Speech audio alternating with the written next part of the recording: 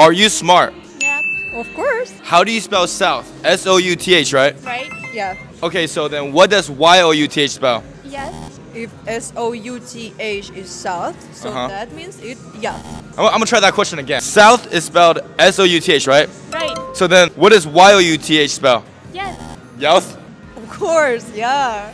Are you sure it's youth? Youth. You're not joking. What do you mean? That's so easy, that's so logical. South, yeah. Like Yes. What?